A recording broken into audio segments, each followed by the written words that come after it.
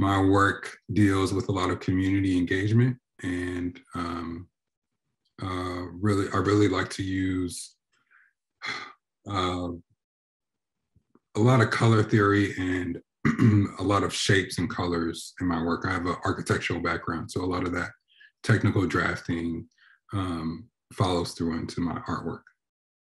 The piece I did um, for the Blair's Project really uh, centers around um, a body of work I, I have called Helping Hands.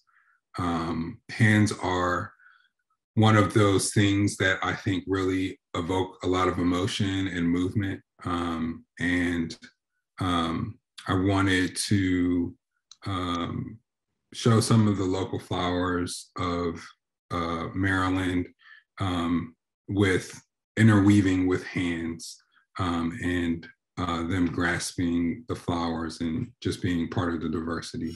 I've created several projects um, up and down the East Coast that really speak towards community engagement and public art um, being the identity for for the community it lives.